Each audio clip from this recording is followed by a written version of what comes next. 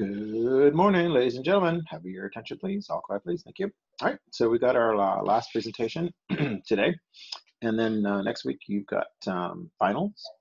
So in here, it's going to be uh, essay assessments, and we'll get those to you soon. So you'll be able to use your notes from the last um, uh, two units, and yeah, and get those in by next week. So um, have your uh, notes out, your packet out. Um, we're on the last page, political parties. Let's get right to it, shall we? There we go, political parties. All right, so here's the deal about uh, political parties. You've got major political parties, and then you've got minor political parties, then you've got people who aren't in political parties whatsoever. Right, so here's what you need to know about political parties. The major ones, the successful ones that have been around for a long time, tend to be very broad. Make sure you have that. The goal is to win elections. Now, they do want to have people within the party that are going to help them to win elections and so forth. Um, so it's not all about, you know, purity of, you know, I believe in this, and anybody that doesn't believe in the same thing I believe in, then you're out of my party. Well, you know, you're not going to many elections because it's going to be a fairly narrow group. So you're going to have all these various different coalitions that are forming up. Interestingly enough, George Washington, first president of the United States, didn't really like political parties. He, he, he called them factions, and he's like, oh, they get in the way, but they tend to occur. People form up in factions, cliques, groups. They try to move forward their goals. Um, and so, even during the time of the George Washington administration, um, there were political parties beginning to be formed in his cabinet among his top officers on the one hand, you had John Adams and Alexander Hamilton that sort of saw things one way, and on the other hand, you had Thomas Jefferson and others that are seeing, seeing things a little bit differently. So, you know, too bad, George Washington. You didn't want uh, political parties, but we got political parties. So we're going to be spending a lot of time uh, here today talking about political parties. And then we'll also look at the big event for political parties every four years, a presidential election, every two years, an election. Um, and so let's get right to it. All right, so here we go. Um, your very first political parties, as I mentioned, uh, started forming up during the time of George Washington's administration. And they're going to come to be known ultimately as the Federalists and then the Democrats. Although, as you can see from the handout, the original name for the Democrats was the Republicans. Isn't that confusing? Because eventually there will be a Republican Party, but not yet. Um, and then they'll be referred to, uh, or actually even before that, as the Anti-Federalists, whatever. And then the Democratic Republicans, and then finally, just simply as Democrats. Okay, so probably one of the most important uh, divisions between those two was the 1800 election, right? You have Thomas Jefferson, okay, going up against his buddy John Adams. Right? John Adams was the uh, vice president under Washington and then became president. He was serving for four years, and in 1800, Thomas Jefferson was like, yeah, well, you know what? I'm going to run against you. And so they had that election, and there you go. There's the electoral uh, college vote, right? These were the only states back in those days. Kentucky, Tennessee, right? Vermont had come in. Oh, Massachusetts, that's also included Maine. Anyway, so you got the electoral vote. Um, you needed a majority, and you got a majority there, and Thomas Jefferson was elected as the President of the United States. Here are the Federalists in the early times. They tended to be, you know, more in favor of a stronger national government. There you've got um, uh, Alexander Hamilton, um, more business oriented and so forth, um, as opposed to Thomas Jefferson and what would become known as the Democratic Party. They tended to be more focused on rural interests, um, although over time, they're, I mean, we see this, this is going to happen big parties kind of shift over time. So some of the things that the Democratic Party was in favor of way back when, not so much today. Similarly, you're going to see various different shifts. One thing you can count on with major political parties, if they want to be successful, they'll move with the times, they'll shift and adapt and maintain some popularity. Otherwise, they're out of there. Because there have been some major political parties that have been out of there, like the Federalist Party, they're gone. And then another party the Whig Party. You're like, what the heck, the Whig Party?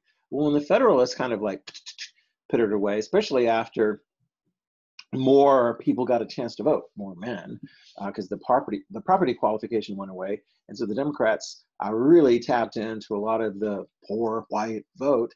Um, you know, as the Whigs are like, oh, okay, it's the Federalists, excuse me, they're gone. and the Whigs come in, and, and the Whigs are there for a while, and they're the major opposition party, although the Democrats are very, very strong. But even they, the Whigs, tend to peter out. Um, like it says right there, what, no broken promises since 1857. There's your last Whig president, Millard Fillmore. I don't even remember. That was, he was before Lincoln. That's for darn sure. And then, um, you know, of course, from the ashes, from the remnants of a major party that's broken up, the Federalists the Whigs. The Whigs, what's the next party going to be? Well, there you go, the Republican Party. They get started up. Their first successful presidential races in 1860. Some of you guys remember that from last year in ninth grade world history, um, where Abraham Lincoln and the Republicans won. What were their big issues? Stopping the expansion of slavery. And then eventually they were all about, like, let's stop slavery, keep the Union together and stop slavery. Very, very interesting.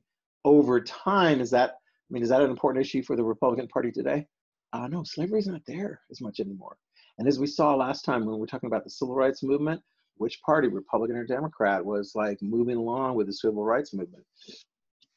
Kind of both were. Although, you know, we did see some Southern Democratic governors and so forth that were like against it. Although we saw some uh, uh, Democratic presidents, Kennedy, Johnson, who were in favor ultimately of the civil rights movement.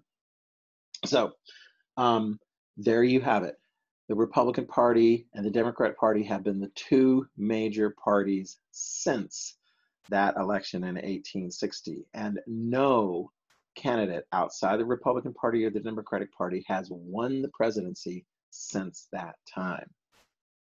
So they've done some things to maintain um, their position. All right. Including moving with the time, shifting, dropping certain issues. If some of the new party comes along, we'll see that you know, then the Republican Democrat parties might just kind of like, hey, that's a nice issue. Take it. All right. So um, pause for a moment. Who the heck is Thomas Nast? What was he, presidential candidate? No, he's a cartoonist.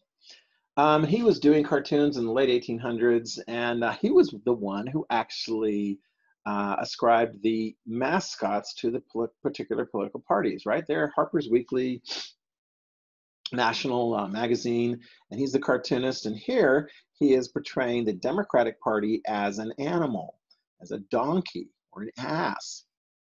And there he is portraying the Republican Party as an elephant. Interesting. Thomas Nast came up with those, but curiously enough, the Republicans and Democrats have kept those as their mascots. They didn't really, you know, I mean, eventually they're like, I mean, the Republicans are like, it's big and bold and strong is the elephant. All the Dem- Democrats say, yeah, your elephant. Anyway, you know, and of course the donkey, you know, the Democrats are like stalwart and hardworking, and of course the Republicans are like, ah, yeah, your mascot's an ass. So anyway, but whatever. Oh, by the way, did you know Thomas Nast invented the Santa Claus too?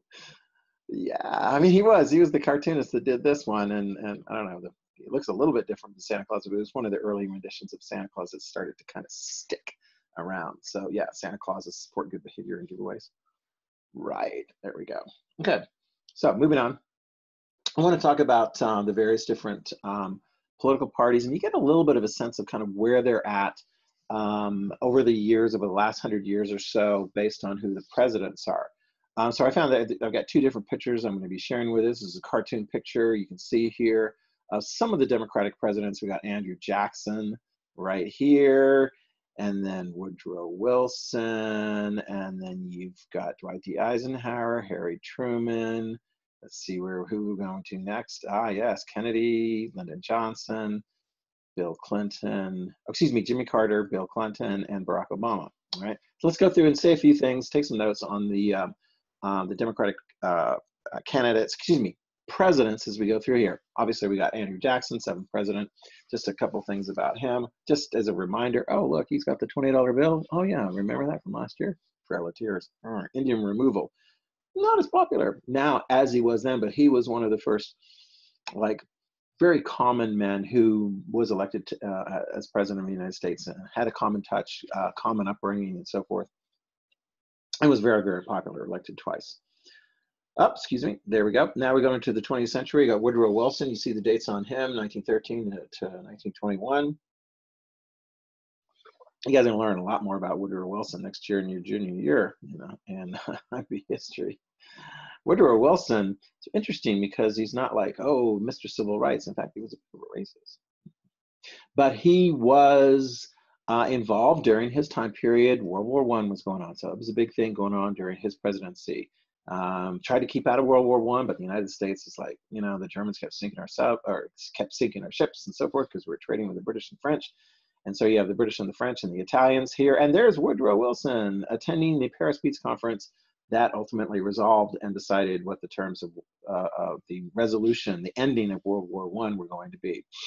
Very, very interesting, controversial thing, and so forth. As it turns out, Woodrow Wilson would end his presidency after World War One, and there'll be a bunch of Republicans um, coming in there. We'll check on those guys later on. But then during the Republican administration, boom, economic depression. That's not good for a political party when an economic depression starts during your time period and it doesn't seem to get fixed. So what happens? Mm, sorry, Republicans, you get another Democratic president. And this is Franklin D. Roosevelt, the 32nd president. He's the only one who was elected more than twice. Okay, and he ran four times and was elected four times. He was the president during the Great Depression. Did the economy turn around during the Great Depression? No, but he did a lot of like uh, speeches and radio things to try and keep kind of calm uh, the people during that time of crisis. He also instituted, make sure you write these down, uh, and got Congress to support the Social Security um, law to provide for protection. Um, World War II got started during his time period. And um, yeah, so the United States was very, very much involved. And you can see here he is at the Yalta conference uh, meeting with uh, President, uh, the British Prime Minister, as well as the Soviet leader. There's Winston Churchill, and there's the Soviet leader, Joseph Stalin. Remember him? Um, hang on just a sec.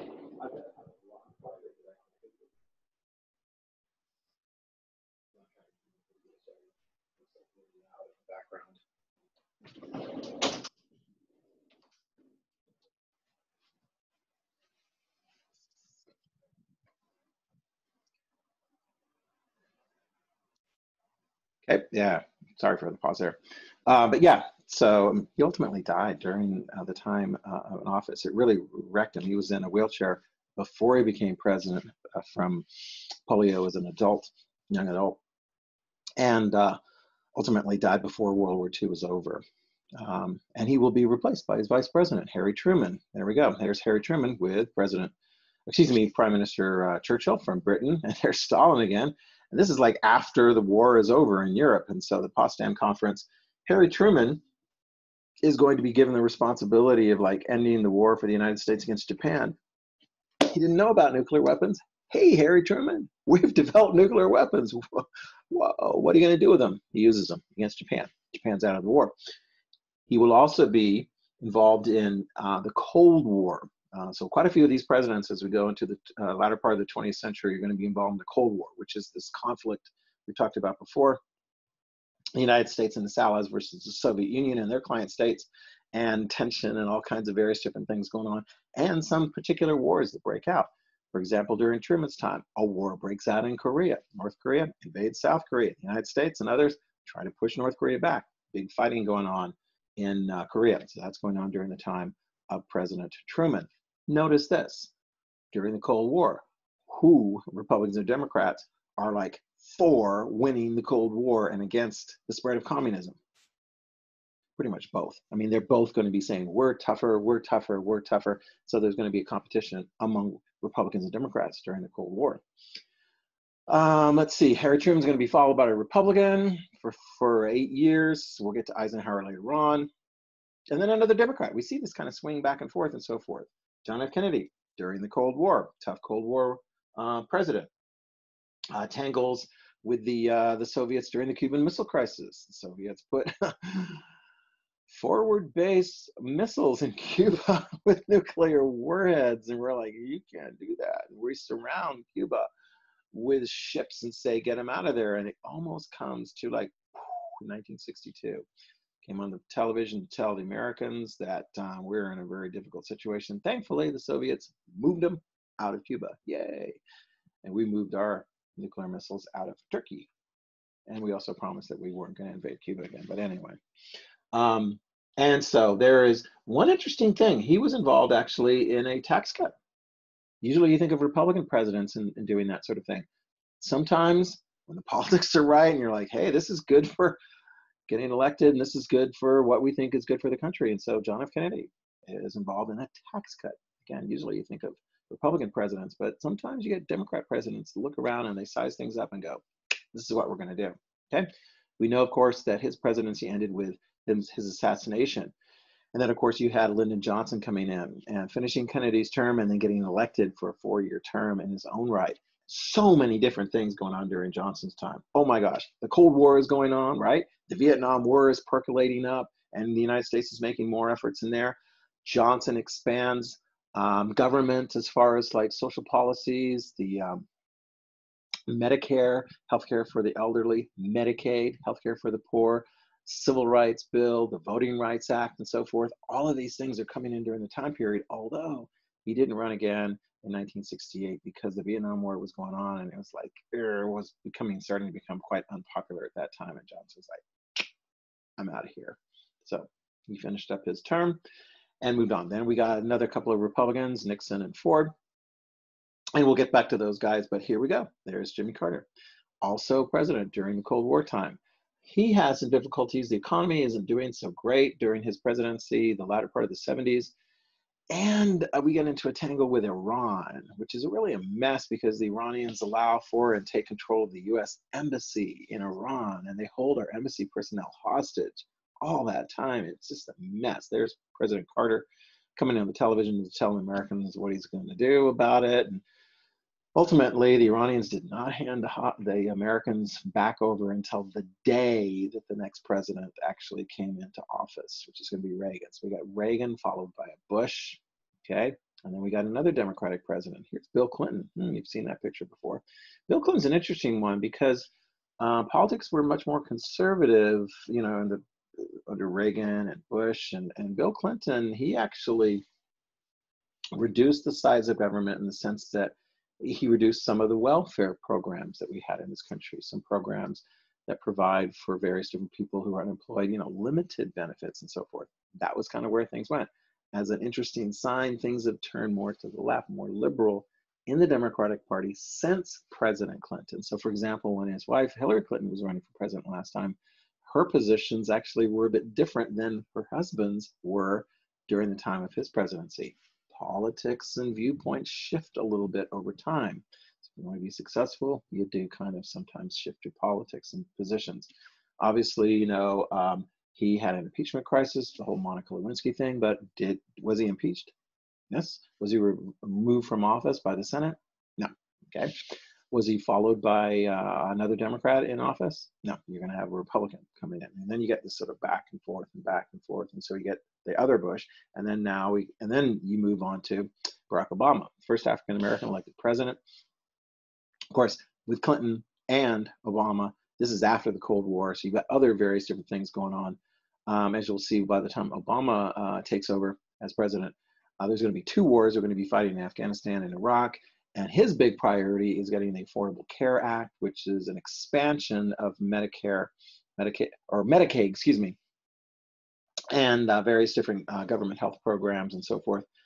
And so there he is signing the uh, Affordable Care Act with his vice president, Joe Biden, there with him, and Nancy Pelosi, who was the Speaker of the House and is again, and so forth. So, yeah, that was the last uh, Democratic president um, that we've had in this country, Barack Obama, 44th president. Now the Republican presidents, right? And of course, the first Republican president was Abraham Lincoln, right? 16th president of the United States. And let's see if we can follow through. We got an interesting picture here. We're going to have Teddy Roosevelt. We'll talk about him. And then it's going to be a while before we're going to have another Republican president. Uh, or well, maybe that'll be three. And then we'll go to Eisenhower. Okay. And then we'll go with Nixon and Ford. We'll go with Reagan and Bush and Bush, and this was done before uh, Trump became president. All right, so there we go. Teddy Roosevelt, right? Speaking from the bully pulpit, he was an interesting one. Actually, some Democrats today look back and go, ah, Teddy Roosevelt would have been a really good president. I kind of liked him. Um, what were some of the things that Teddy Roosevelt was involved in? Business regulations. The government or the businesses were so big, and he's like, man, maybe we need to regulate those guys a little bit because they're too powerful. He also instituted um, and expanded the National Parks uh, Service. And so, yeah, he was very, very involved, very dynamic person. As it turns out, and you'll learn a little bit more about this, quite a bit more next year. Um, he was followed by his buddy William Howard Taft, although after Taft came in, Roosevelt was like, actually, I don't think you're very good. And he ran against him the 26th president of the United States ran against the 27th president of the United States, and neither of them won. The 28th president, of course, is Wilson. We got him there. Taft was much, much happier. There he is in the middle as the Chief Justice of the United States Supreme Court. That's how he finished his service to the United States of America. Yeah, Taft, and of course, after Taft came Wilson during World War One.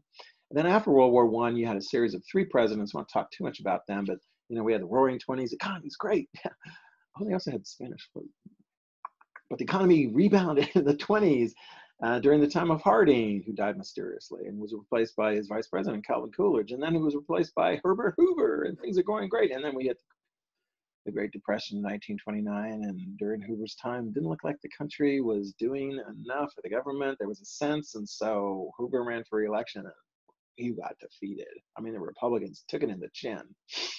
And the Democrats won the presidency. Franklin Roosevelt, and they got control of the House and Senate, and they put in all kinds of various different programs um, to expand government involvement in, uh, you know, in retirement, Social Security, and unemployment benefits, and all kinds of various different things. So when will the Republicans come back? I mean, actually, what did they lo- they lost like the next five presidential elections. That's a long span.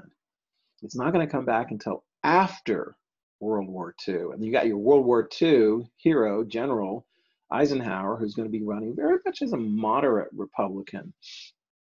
And he comes in during the Cold War, 34th president. He says, I'm going to go to Korea. The Korean War had already started.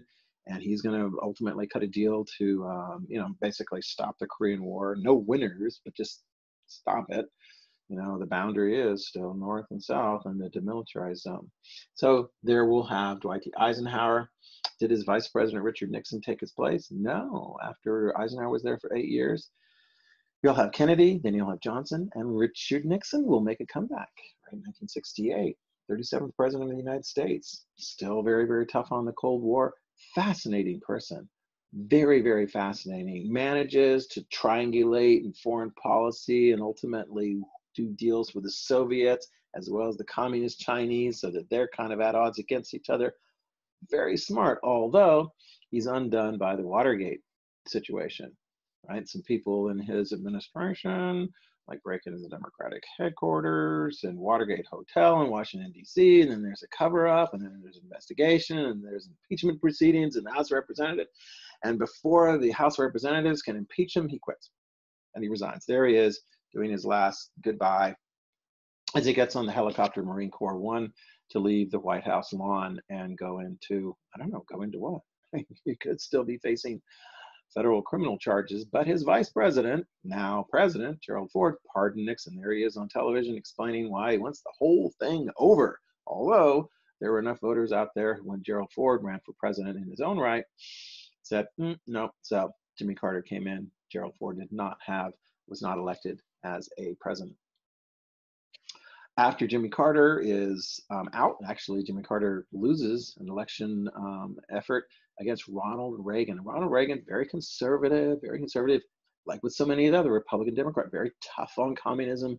And he'll be there. There he is speaking at the Berlin Wall, saying, Mr. Gorbachev, tear down that wall, spending on military, spending on all kinds of various different things. But ultimately, toward the end of his eight year term, he is getting along with the Soviets because we know this. We already covered this at the early part of the year. The Soviets are having changes themselves. Gorbachev is instituting like democracy and free speech and capitalism and things like that. And the Cold War winds down during the time of Ronald Reagan and will finish officially in the next president, George H.W. Bush, right? So he is the president during the transition from going into the Cold War to this post Cold War, like what could happen in the post Cold War? Well, I'll tell you one thing that happened during the post Cold War Iraq took over its neighbor, Kuwait. And there's George W. Bush getting, excuse me, George H.W. Bush, uh, dad to George W. Bush, getting on the television and telling the American people, say, hey, you know, we need to go up against Iraq and, and get them out of Kuwait. And that's exactly what happened. George H.W. Bush although, you know, very, very popular. But then people are like, what did you do for me lately? I mean, he was very popular in the early part of 1991, but in 1992 is when the presidential election is going. And what's the economy like in 1992? Eh, not as great as it really could be. And that hurts Bush. And so he's defeated by Clinton, who gets elected for eight years. And then, of course, all the things going on with Clinton.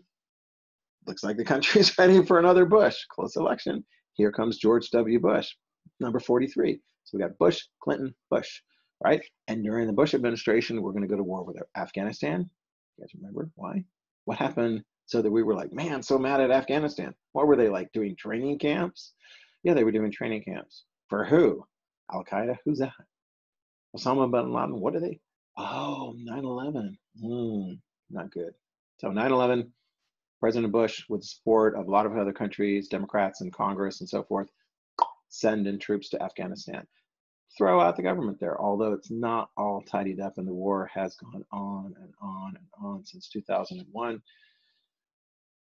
There will be another war in Iraq, and we will overthrow Saddam Hussein, the same guy that that uh, tangled with George H.W. Bush.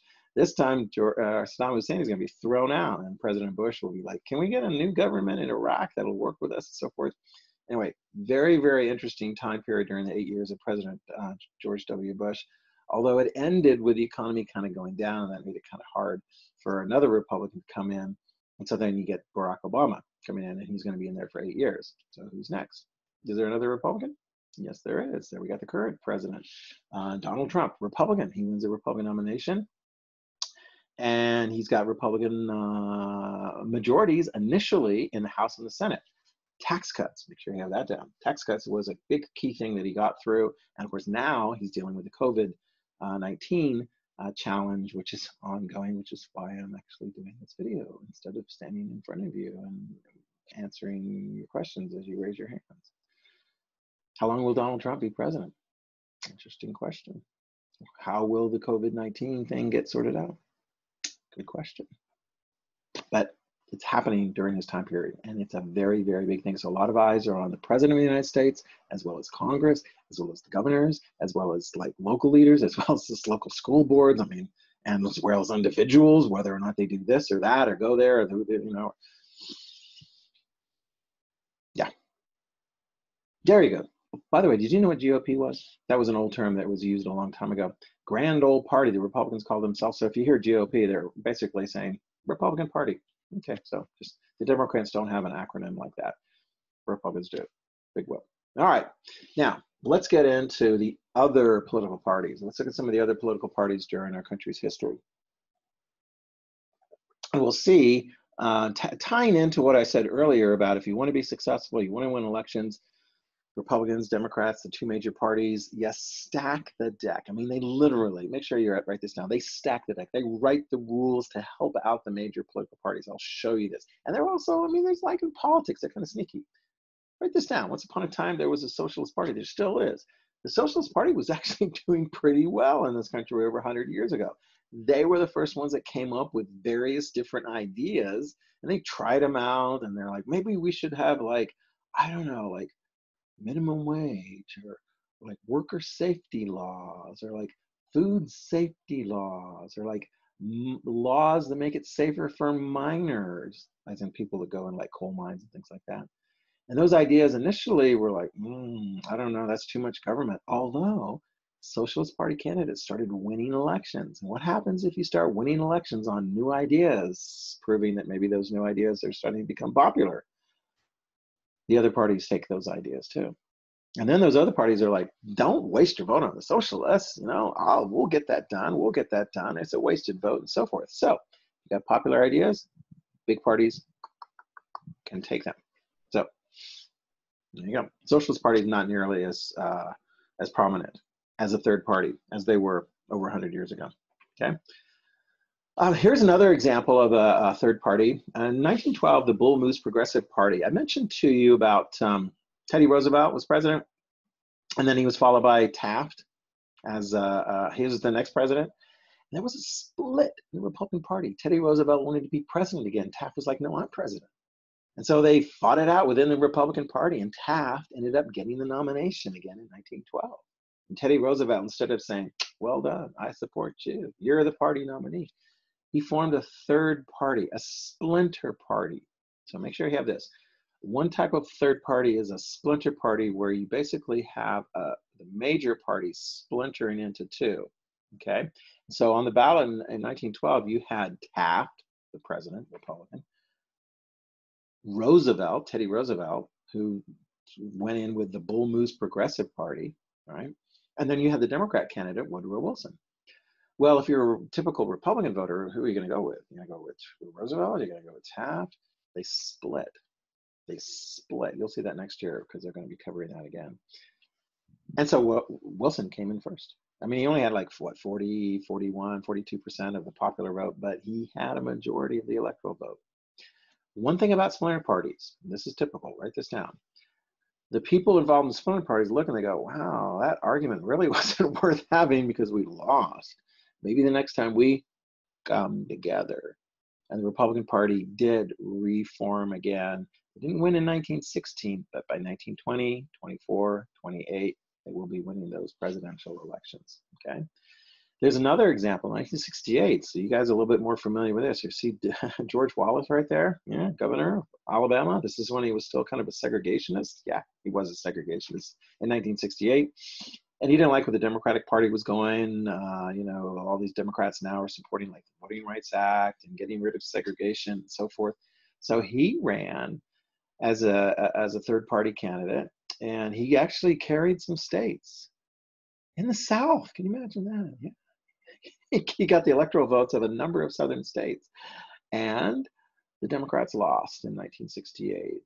Richard Nixon, Republican, was elected in a close election. Okay, so ultimately the Democrats come back together.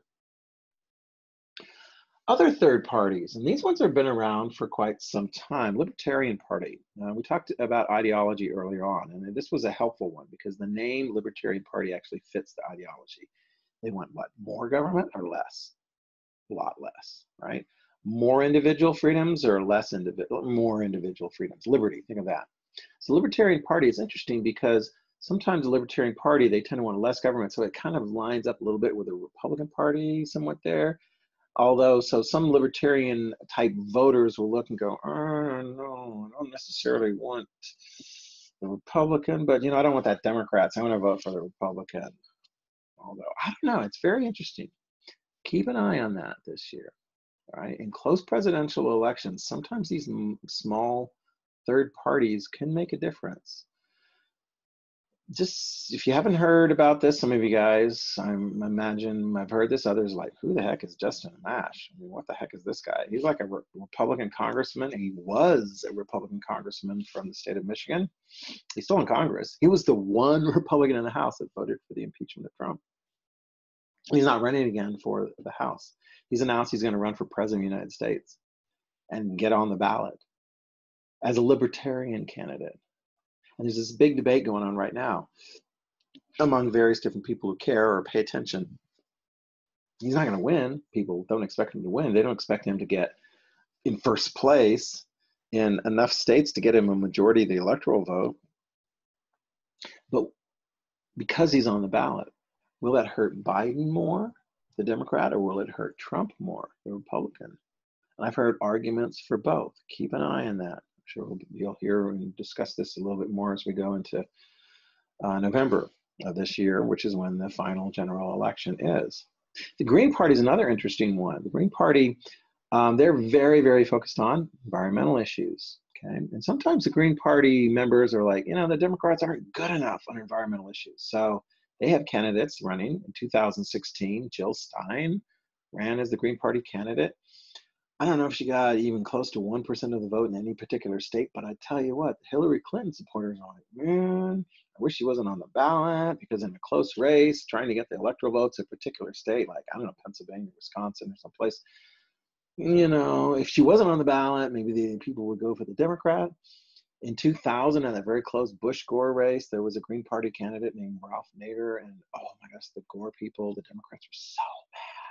Nader was like, "Man, Gore's not good enough," and he got like two or three percent of the vote in some of the states, and Gore lost those states, and he lost the election. So anyway, keep a close eye. Sometimes those third party candidates in presidential elections can end up being a little bit of a spoiler. Probably the most prominent of third party or independent candidates in recent history occurred in 1992, where you had Ross Perot running. He ran as an independent that year, and his big issue was balance the budget. Can you imagine the government spending a lot less money than they actually brought in in taxes? Anyway, the Republicans and Democrats didn't seem to be, according to him, doing enough on that issue, and so he ran, and he started getting a lot of support. Right? This was interesting. Take a look at this. Right? So Perot ultimately got close to 19% of the popular vote. Right? Clinton won, but he had only 43% of the popular vote, and George H.W. Bush running for reelection got just over what 37 and a half. And that was the result. Perot didn't come in first in any state, so he didn't win any electoral votes in any state. Clinton came in first place in enough states that he won the majority of the electoral vote. But it was very interesting. Perot folks were like, oh my gosh, those Republicans and Democrats and the media people who support Republicans and Democrats kept saying that the Perot voters were wasting their votes if they didn't vote for you know, were Bush or, you know, for Clinton or something. And so here was a poll that said results with Perot voters that because of media bias So there showed that Perot would have come in a lot better. And then uh, those that were Perot voters maybe stayed at home, you know, because they're like, ah, I'm not going to waste my time. There's a lot of voters like that. I'm not going to waste my time. My vote doesn't make any difference. So there was an argument. Yeah, maybe Perot would have done it. If he had, he would have been the first third party or independent candidate to come in first place and win the presidency since I don't know. I mean, who was the last candidate that didn't have a political party? George Washington. So is that going to happen this year? No, I think it's probably going to be Republican or Democrat. Okay. So, um, oh, I should have I should have talked about this. Oh, independent candidates. I don't have a slide for that. I should have put a slide in there. Independent candidates because like Ross Perot ran as an independent candidate, right? And there was a lot of attention. He was a very wealthy Texan, and so he was able to not only get a lot of attention but spend a lot of money in his campaigns. But typically, if you're on the ballot as an independent candidate, I did that in what 2002. A lot of people are like, I don't know what an independent stands for, and so forth. A lot of voters are independent. They probably a better thing is to say they swing or lean a little bit more to the Republican or lean a little bit more to the Democrat. They swing. They're independent that way. But an independent voter, do they vote for independent candidates? Not so much. Most independent voters ultimately ended up voting for Republican or Democrat or they don't vote. Okay. So when I ran as an independent candidate in 2002 for the uh, um, for a House seat in the Idaho legislature is like, oh wow, you know, I got the highest percentage of a third party independent uh, candidate running for the legislature in like modern history in Idaho. But I lost big time. it's like 33% of the overall vote. So it's not likely that you are an independent candidate gonna gonna win. But who knows? You know, Perot almost did it. All right, next one. All right, you see where we are now here, single member congressional districts versus proportional voting system. This is one of the ways that the Republicans and Democrats, the two major parties, make sure that the power stays to them, okay? By having pretty much all the races, all the races for the House, all the races for the Senate, pretty much all the races for all the state legislative positions, single member district. In other words, one person gets the seat.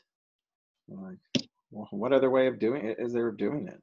Well, you could have what they do in many countries, including um, like Germany and Israel and so forth. They have what is called proportional representation. So, in other words, instead of having one member per district, they would have a district and they would have like 10 members. What? So, how does that work? So, you vote for the party, and then based on the percentage of votes that party gets, they get a percentage of those seats in that 10 member district. So let's just try it out for size. Let's say you had a 10 member district, okay? And, um, and the Republican Party gets like 40%. So they get four of the seats, and Democrat Party gets 40%. So they get four of the seats. Oh, wait. Let's say the Libertarian Party gets 10%. They get one and uh, I don't know, the Green Party gets 10%, so they get one. So they actually get seats in that elected body instead of coming in second or third or whatever. they actually get some representation. What happens in those countries with proportional representation is like, for example, um, you might have, like here in Britain, they actually have single member districts, right? And so you've got the Tory party, which is the Conservative Party, Labour Party, which is like, you know, the equivalent of the Democratic Party. Whoever wins in first place gets that. But uh, if they instituted a proportional system into Britain, the other smaller parties, particularly this political party called the Liberal Democrats and so forth, they would actually do a lot better because they come in a strong second or strong third in many of those districts. Do you think the what the Labour and Tory parties are going to change the rules in Britain? Because it would hurt them. Are the Republicans and Democrats going to go away from a single member district? No, no, we're not going to go to a proportional system. No, and in fact, even in Britain, you end up having all these coalitions that have to be formed. You know, one party will get like 49% of all the seats in the legislature. 49 is not a majority, so they have to make these coalitions with other smaller political parties. And yeah, so that doesn't happen in this country. Another thing that happens, uh, make sure you write this down. This is called gerrymander. It's just this funky term that comes. It's been around a long, long time. In fact, this this map right here, right? This is part of uh, Massachusetts, and it was named after, this map was named after a guy named Elbridge Gerry, was like an early politician there, who was drawing districts, these single member districts, right? And so he was drawing them in such a way, it was a really crazy looking thing. Look, he's got this like thing over Salisbury and Amesbury and Haverhill, and I can't even name all those things and so forth. He puts them all together and creates this crazy looking district, which helps his party. That's the point, gerrymandering. You draw the lines to help your party. You create single member districts in a funky fashion to help your party, right? They call it like this crazy salamander gerrymander, okay? Basically, it's using drawing apparatus to help your party. So you want to be the party that gets to do the drawing. So in many states, whoever has the majority in their legislature gets to do the drawing every 10 years It's every 10 years. We do a census, we count the people where they are, and then we move all the districts around so that you get sort of an equivalence of people in each of the different districts, right? So like Idaho, for example, has grown in population and and uh, so there'll be some shifts and changes after the next census is finally done. kind of slowed down right now. Let me just give you an example. These are some real districts. I think you can tell this one right in here. That's like part of northern Florida. I think this one is actually in North Carolina. But this is what a gerrymandered district looks like. So you got this crazy array. This is all one congressional district. And literally in some parts, it's like the width, the, the, the, the width of the district is like the, the space between the yellow lines on a highway. I mean, it's crazy. The goal though is to put a lot of your, to configure it in such a way that you help your party and hurt the other party. Okay. And you end up with some crazy things. Now, you want to give it a try? Want to give it a try? All right, take a look at this map. Look very carefully at the map. Here's what you see. I'll tell you what you see and then you figure this out, okay? You have to create six districts, okay? And they take political information of how people vote and the trends in the past and so forth. And they've discovered that in this entire area, state or whatever you have it, it's roughly equal. There are the Republican elephants, and there are the. Uh, in fact, it's exactly equal. How many Republican elephants do you got there? Let me see. 15. And they get 15 donkeys. All right, so you're going to create six districts, right? And they're going to need to be equal population. So you're going to put five into each one. Well, you'd figure, you know, 50% are Democrats and 50% are Republican. When you do all the drawing and lines and everything, you're going to have like what three Republican majority districts and three Rep Democrat majority districts, right? You know. But take a look. Who do you suppose actually drew this one? Now you look down here. Look at like District Six down here. Like, wow, is a Democrat going to win in that district? It's like almost all the voters there are Democrats. Yeah, Democrats going to win there. What about in District Five? Well, it looks like it's about 60%, three to two, 60% Republican. Looks like it might go to Republican. District four, same deal. Looks like it's probably going to go to Republican. Oh. District three, wow, looks like it's going to go to Republican. What did they do here? Two and one. The Republicans were the ones that made this map. And they drew it in such a way they crammed lots of Democrats into one district right here or a small number of districts. And then the other ones, they put just enough, a little bit more, like about 10, 20% more of their particular party people, which will give their Republican candidates a chance to win. So what is that legislature going to look like? It's going to be, you know, heavily Republican. This is party politics. This is, this is the way things work in America. Yeah, in Idaho, actually, I mean, it's very Republican state, but we have a nonpartisan um, system set up every 10 years. You have three Republicans, three Democrats, they get together, they redraw the maps and so forth. And what they see is the most sensible thing. They try, I mean, they really are not doing crazy, like, you know, districts like that. So I don't know who came up with that plan. My brother did when, when he was in the legislature. And uh, yeah, eventually it became law. So Idaho is one of the few states that has like this nonpartisan um, map making, redistricting that they do every 10 years. Okay. Now, um, political parties. Political parties have various different folks that are going to help out in elections. All right, so now we're moving, uh, we're continuing talking about politics, we're moving to the election system and so forth. These are going to be organizations that are around the whole time and like, so you see like the Idaho Republican, there's the Idaho Republicans and the Dem Idaho Democratic Party, right? And you've got um, national party organizations, the Republican National Committee, there's the DNC, the Democratic National Committee. Let me tell you this.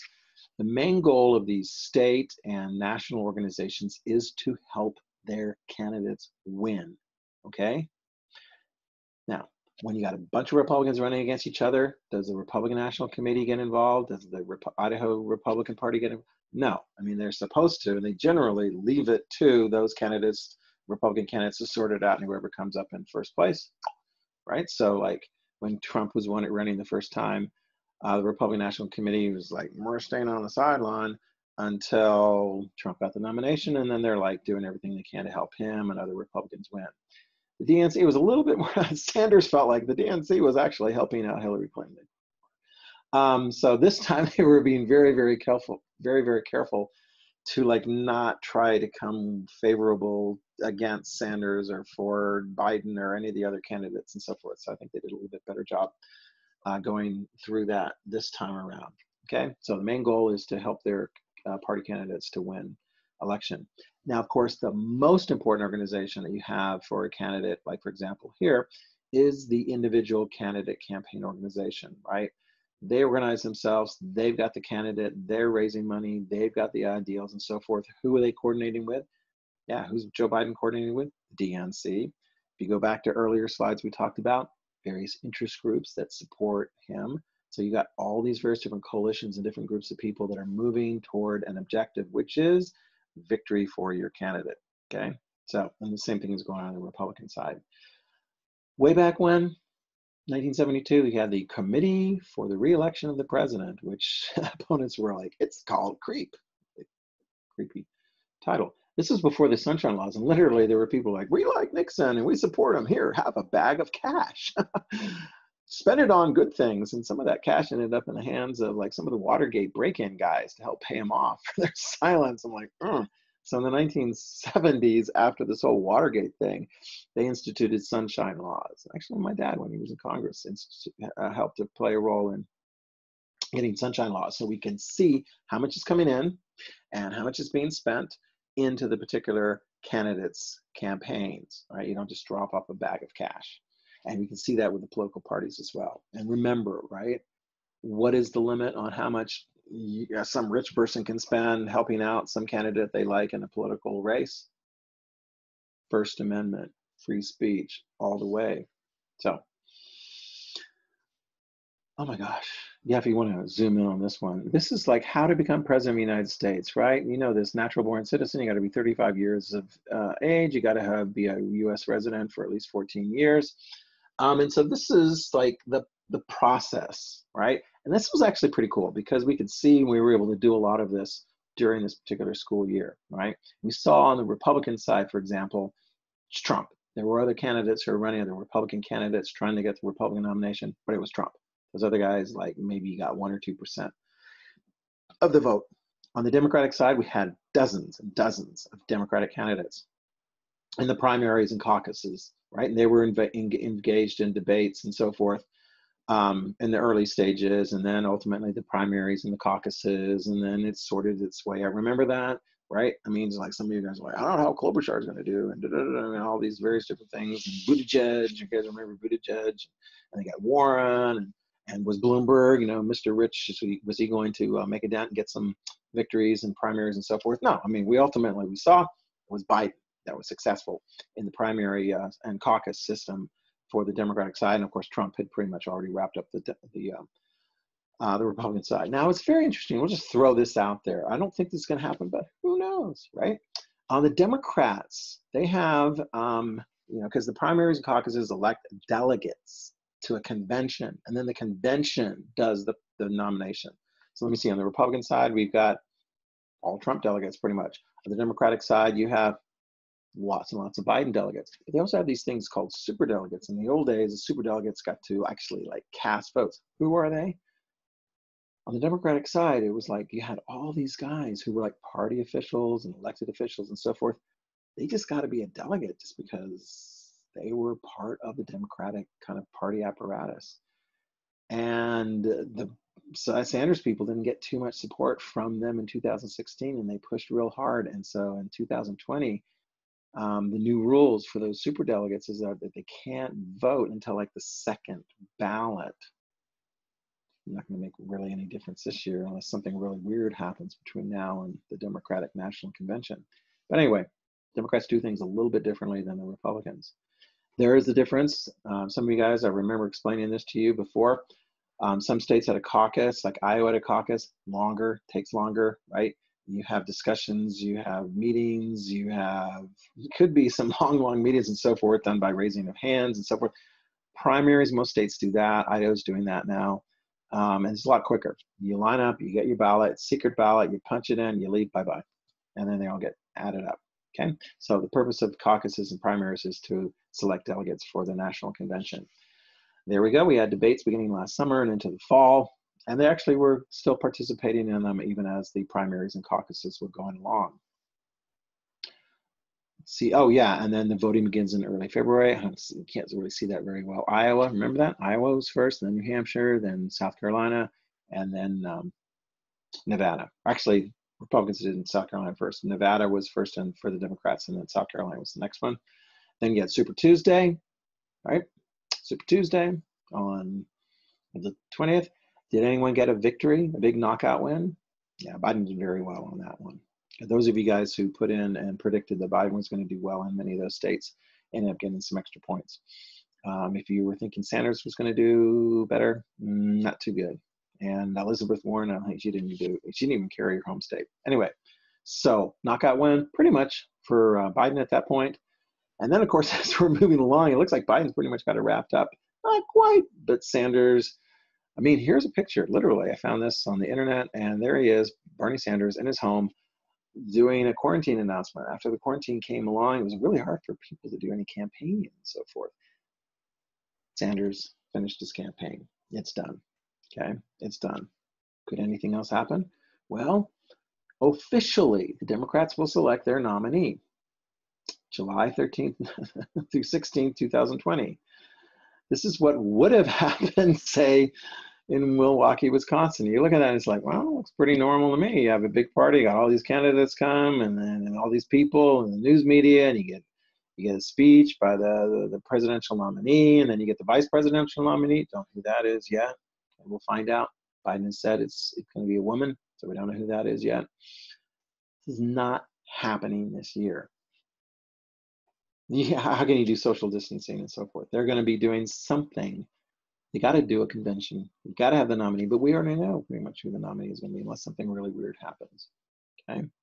By the way, the Republicans, Charlotte, North Carolina, they were going to have theirs in August. Kind of doubt that's going to happen, but I don't know. Something's going to happen. Trump will get the nomination.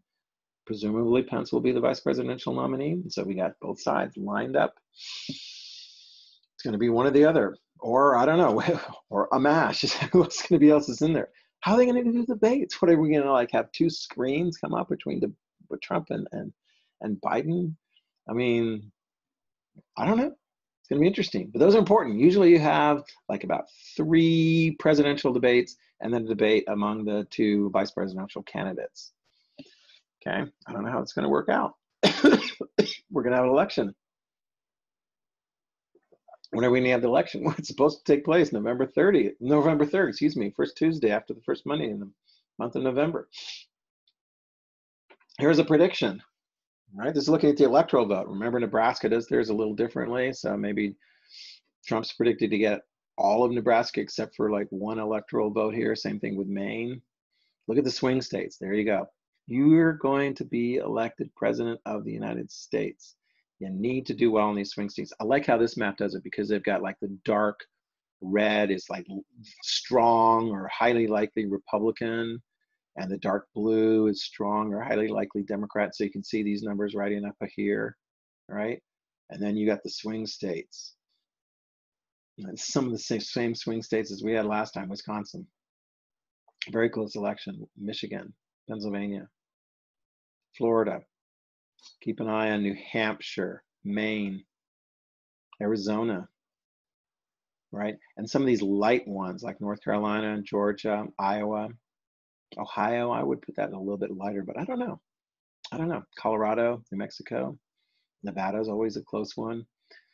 Um, this one has it like uh, not really quite clear. That's one prediction. Here's another prediction, right? And literally, it was like in 2000. Remember, Florida, if it hadn't gone for Bush in a very close way, it would have you know, gone for Gore, and Gore would have been elected president. So just one state switching over. It's a lot, a lot of attention to that.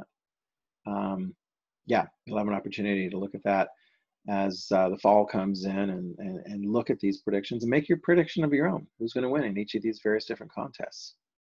And who will be ultimately then the next president of the United States? Because we need to have one. The Constitution says on January 20th, 2021, they're going to take the oath of office, right? Who's it going to be? Is it going to be Biden? How do we have Biden's picture doing the oath of that was when he was taking the oath of office as vice president uh, under Obama. And this is uh, the Trump one from the last time around. So which is it going to be? I don't know. You got any predictions? You got any favorites? I don't know. I'll tell you what. That is uh, that's going to wrap it up for us here on the notes for the politics uh, unit. And we'll get your essay questions coming up here real soon. So make sure you've got all your notes and you've covered all the material because you're going to need those as you do your essays. Okay, and if you have any questions, shoot me an email. Otherwise, stay safe, stay healthy, and we'll see you.